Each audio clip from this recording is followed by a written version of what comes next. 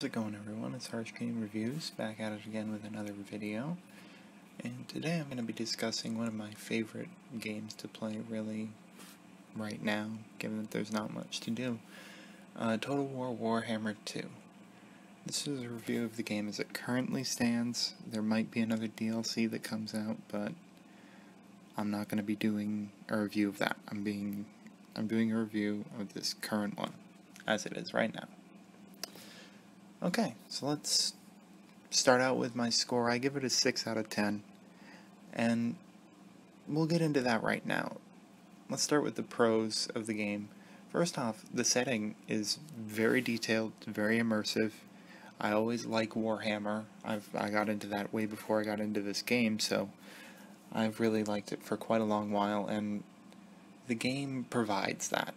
And Warhammer lore really builds the game a backbone that allows it to thrive even during some of the negatives of the game.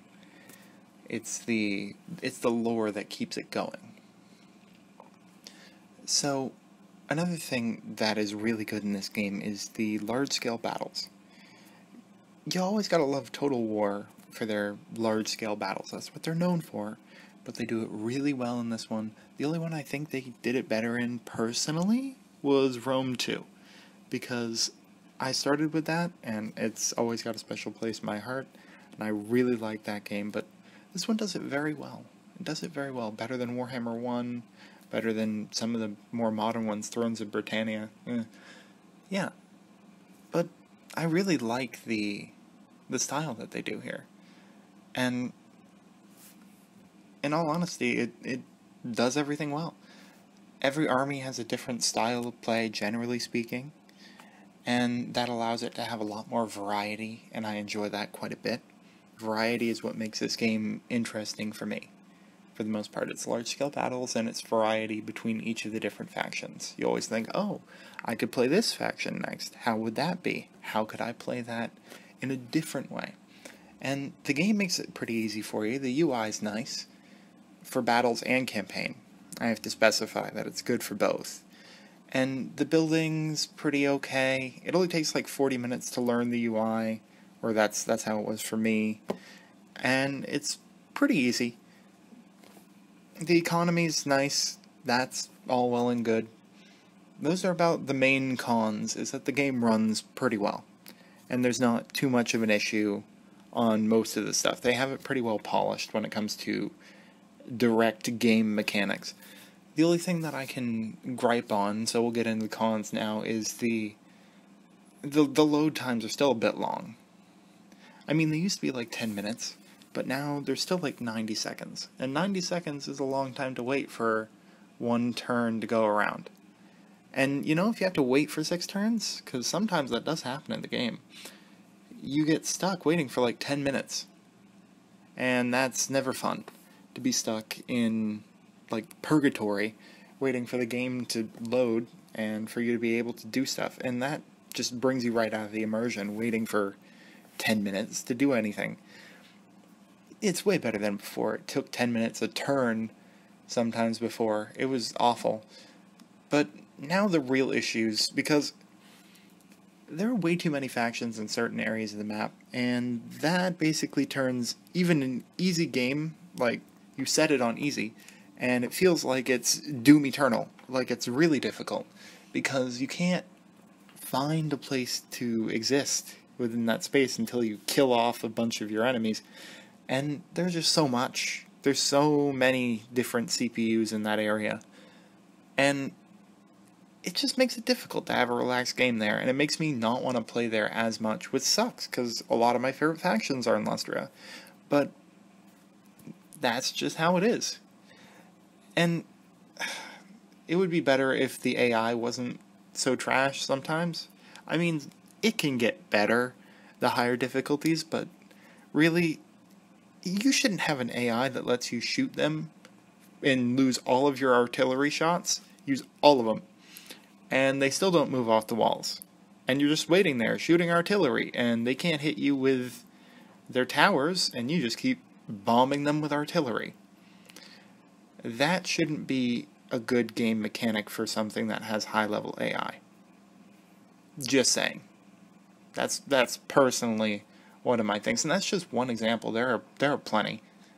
I mean, I have a video here that I'm I'm kind of showing that has one of these units of skeletal greatswords just standing there in the center of the town, capping the point for the entire the entire battle. And they could have done that with something like skeleton warriors, but they didn't. And it's not even like they were really defending anything. I did, I never did anything in that in that category to try to take it from them because I didn't need to. Speaking about sieges, the whole the whole siege system needs to be reworked. The walls are an active detriment to you keeping your cities.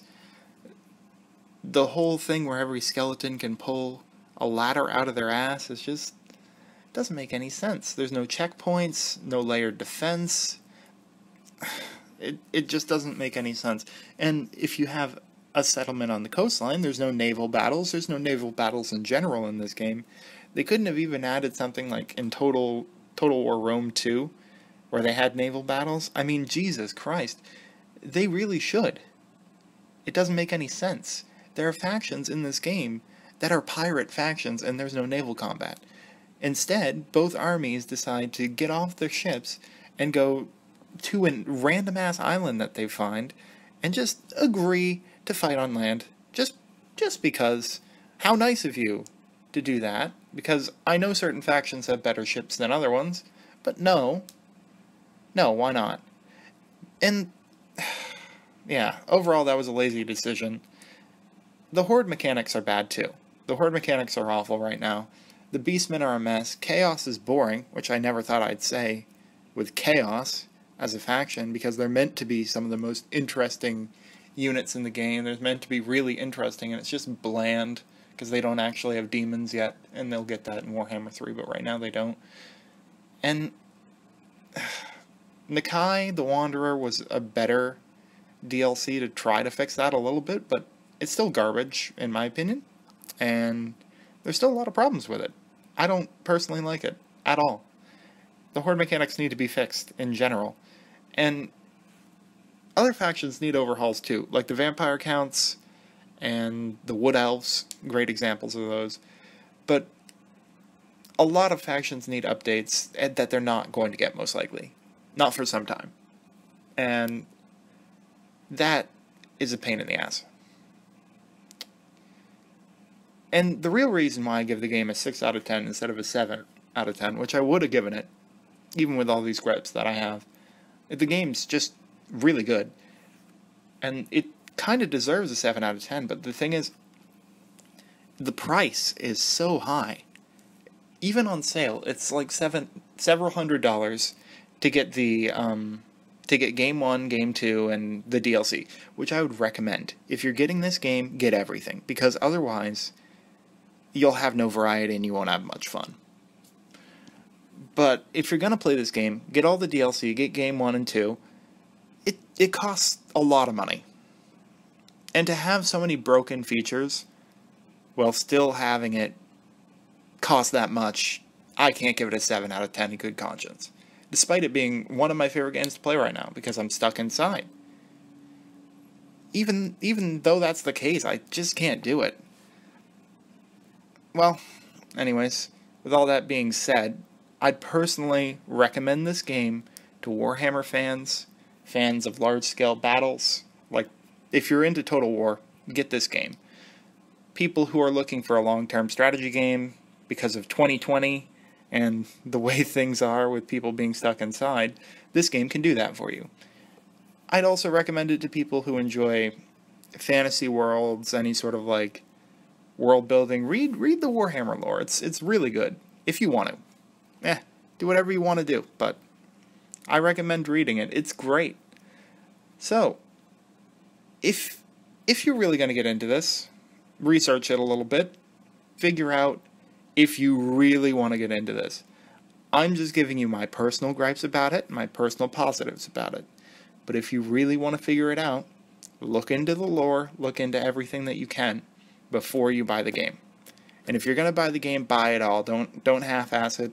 Buy the whole thing or buy nothing. Well, with all that in mind, I'll, I'll see you again later. like and subscribe if you want, and have a good day or night, whatever.